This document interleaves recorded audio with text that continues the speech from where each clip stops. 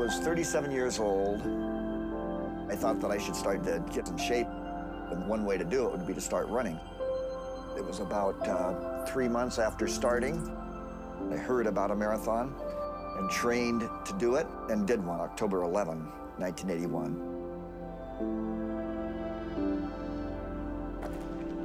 And then I had the goal of doing one or more races per month. And so as it's turned out, I've done one race or more per month now for 35 years. Never missing a month. Sometimes doing a, a, short run at the beginning of the month to be sure that if I didn't finish the long run for any reason, that I'd have the month covered. I have done 26 100s, and I've done 175 ultramarathons, so there's been many of them that I really liked. Western States 100 mile endurance run is a mountain run. It was started as a horse race. And there was a runner, Gordy Ainsleigh. His horse came up lame. He decided that he was going to run the route rather than ride a horse. And that's what he did. And it became uh, kind of popular. So that's the way it started.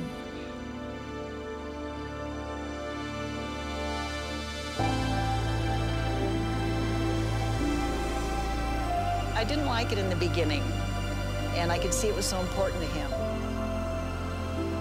That's how it got started. Now it's just a way of life for us.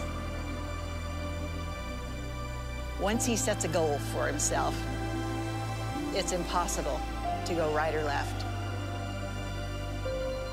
I think that's probably what gets these ultra runners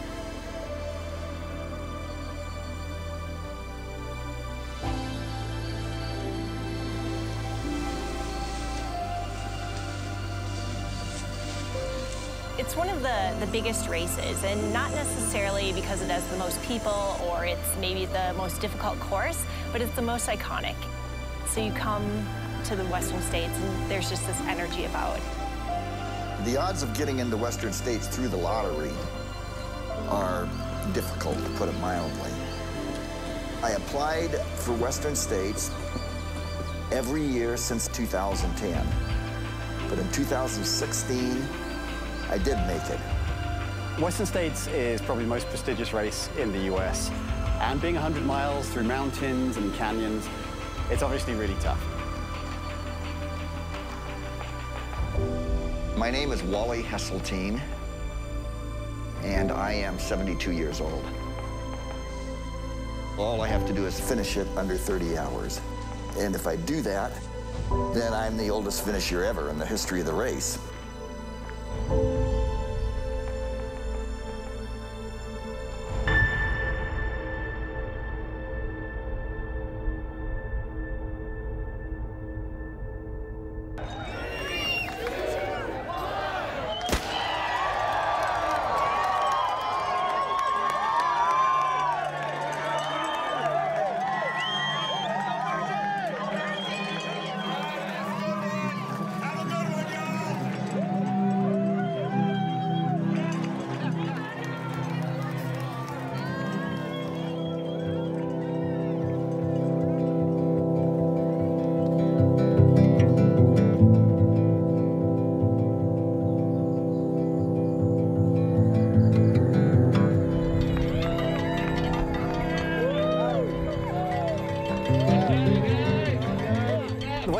Course, I think of in four different parts.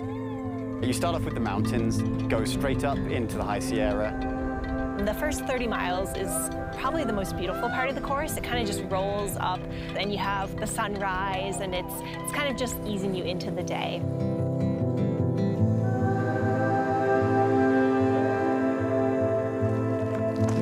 Then you get to the canyons. This is probably the most famous part of the race, where it gets really, really hot.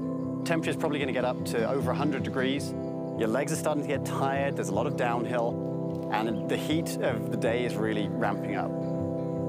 Three miles down, and then you get to the bottom, and then it's three miles up. And you do that several times over the next four to five hours. You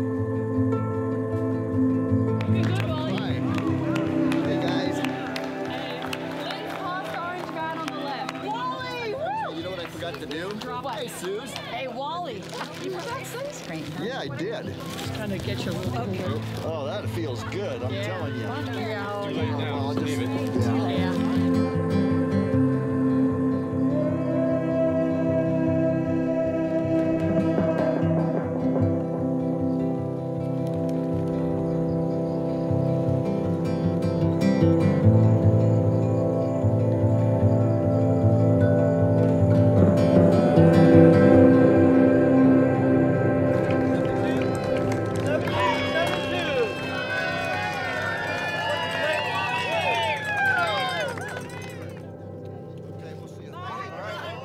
There's always a lot of people cheering.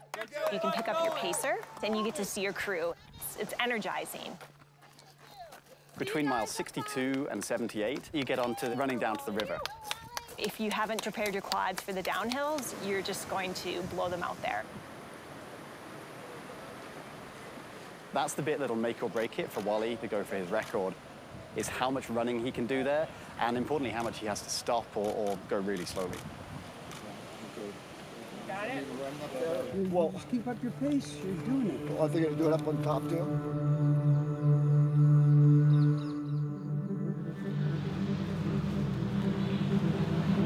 Come on, Wally!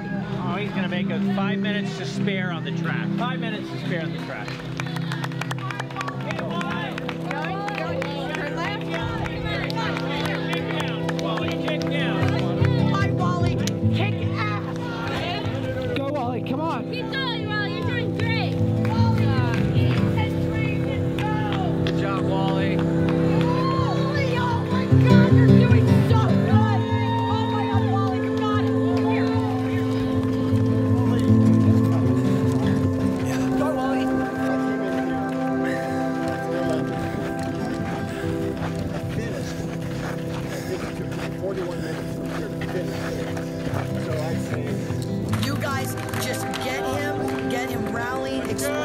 Got to go, he's got to dig deep.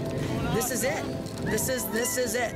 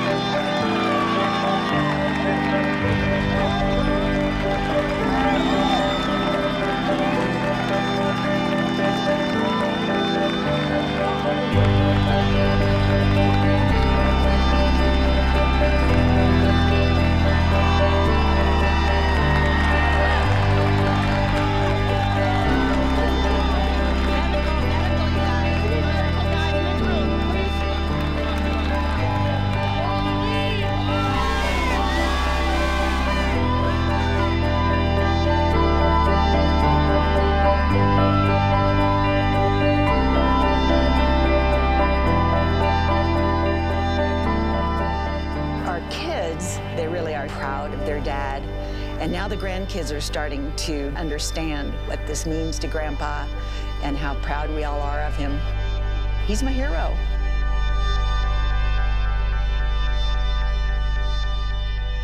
I really like running. So I, I don't know about stopping. It, um, I'd like to run till the day I die.